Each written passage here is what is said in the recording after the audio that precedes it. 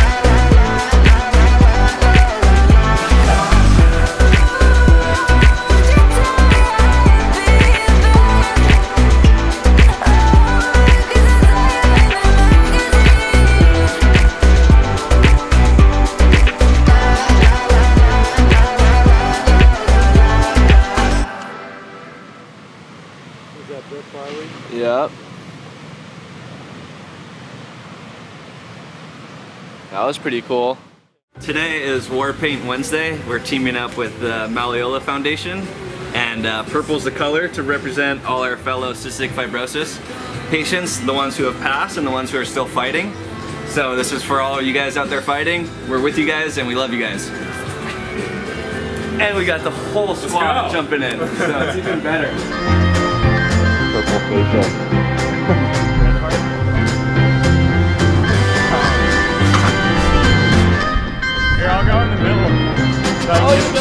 Got, oh, I thought you had a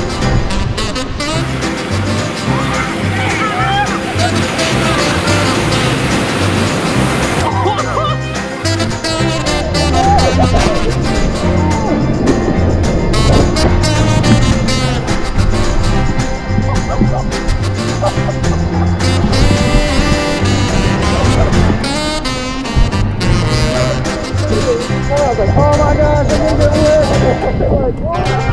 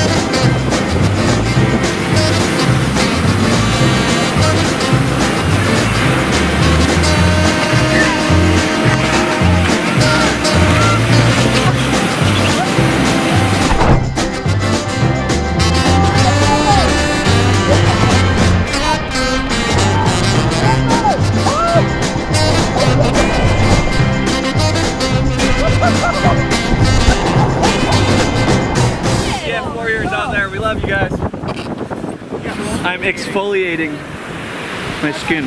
Not only are we professional surfers, we take great care of our skin. I leave mine on for a little bit longer. It gets deeper into the blackheads. You're gonna have to shave. Dude, so good. Love the serious look.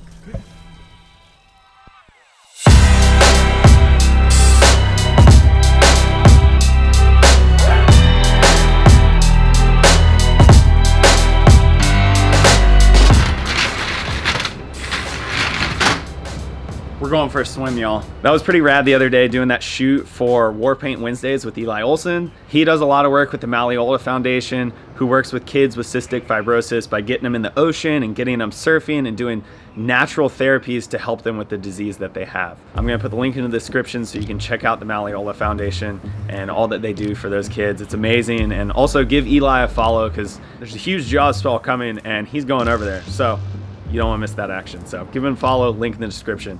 Um, now I'm about to go hop in the water. The conditions are just super beautiful right now. So the water looks really clear and I wanted to dive down and take a look at the bottom of the reef here at the pipeline, which is literally the most dangerous wave in the world. But anyway, to go up out there with the GoPro in the G-Dome housing, check out the reef, watch the waves coming in, surfers hanging out, waiting for waves, and give you guys just a look.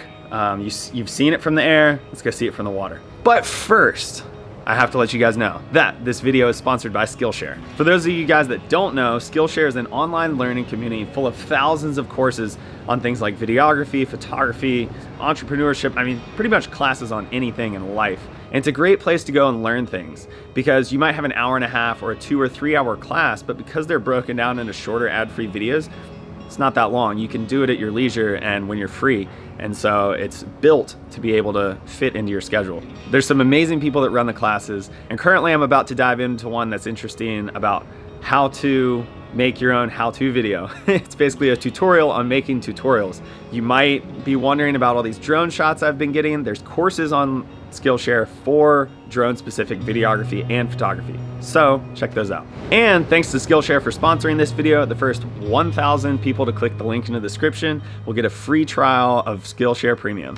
And if you're enjoying Skillshare, it's less than $10 a month after that. Now, let's go swimming.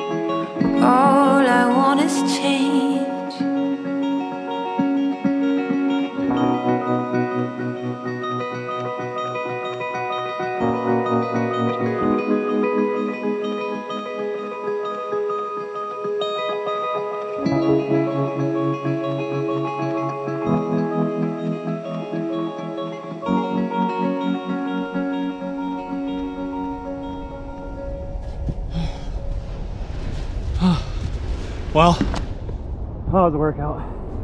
That was fun though. Man, the swell's picking up. Getting pretty doubled up and surgy out there. Super dangerous when it's like that. But uh, oh, I'll let you guys go from here. I'm gonna hop in the shower. Stay tuned though, because the swell's picking up and the next couple days is gonna be huge. Should get some good pipeline to finish off the trip. So if you haven't been, be sure to hit subscribe so you don't miss out on the following episode. And that's you guys in the video. See y'all next week.